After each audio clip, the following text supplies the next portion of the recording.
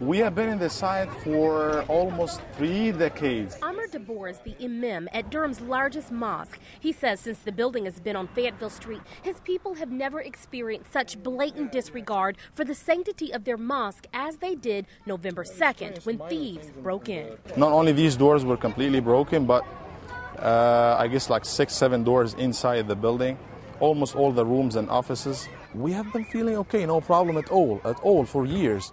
But this, this was really very strange. Strange enough that after local mosque leaders filed a police report with Durham authorities, the Council on American Islamic Relations, based in our nation's capital, sought the help of federal officials. And we've also contacted the FBI uh, to see what they can do with the uh, incident. The civil rights and advocacy group say they fear Muslims in the headlines prompted this incident. The police had already warned the mosque about potential backlash because of the recent terror arrests.